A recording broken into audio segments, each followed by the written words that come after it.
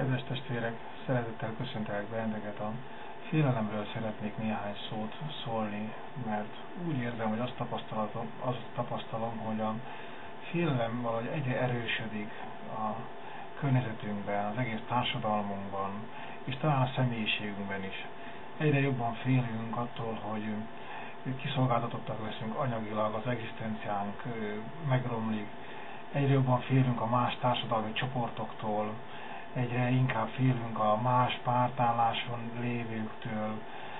mint hogyha a félelem eluralkodna rajtunk, és ez a félelem persze agressziót szül, és egyre inkább neki támadunk mindazokra, akik nem úgy gondolkodnak, ahogy mi gondolkodunk, akik nem úgy élnek, ahogy mi élünk, és ez egy ilyen ördögi körnek tűnik számomra,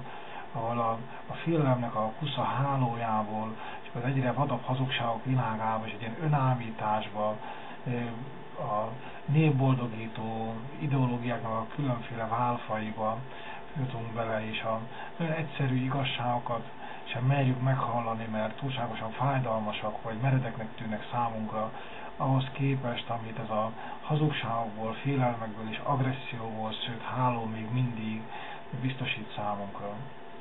Ezzel szemben a Szentírás azt mondja, hogy a félelem nem más,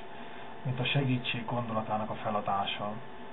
Ezért először is újra vissza kell fordulnunk az, hogy nekünk van segítségünk. Hát Isten, ami atyánk, az készen áll arra, hogy belépjen a mi életünkbe, belépjen a mi közösségünkbe, belépjen a mi történelmünkbe, és ö, ö, megoldást hozzon azokra a problémákra, amik miatt mi félünk és rettegünk. Persze sokszor nagyon fájdalmas lehet, hiszen maga az igazság is nagyon kellemetlen, és nagyon fájdalmas lehet a mi életünkben, vagy a közösségeinkben, de mégis, hogyha merünk hinni abban, hogy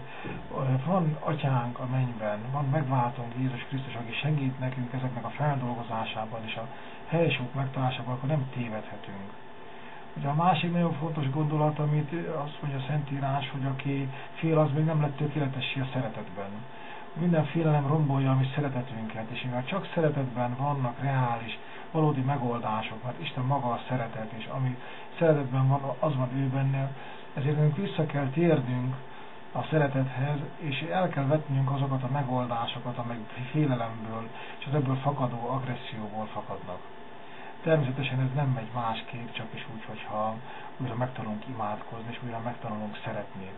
hogyha azokat a könnyen felkínált agresszív magatartásokat, amit a politika, a gazdaság világa most kínál, elvetjük és merünk radikálisan visszafordulni Istenhez, és a nyolc boldogság lelkületéhez, hívén, hogy amit Jézus mond, az igaz, boldog a szelídek, mert ők öröklik a földet. Hiszem, hogy amikor merünk elfordulni a félelemtől, és belekapaszkodni abba a segítségbe, amit Isten nyújt nekünk, akkor valóban szabaddá leszünk, és Jézus Krisztusnak a szabadító és gyógyító szeretete kiárad ránk, és rajtunk keresztül békét, megújulást és egy valódi életet hoz mindannyiunknak. Adja Isten, hogy így legyen. Amen.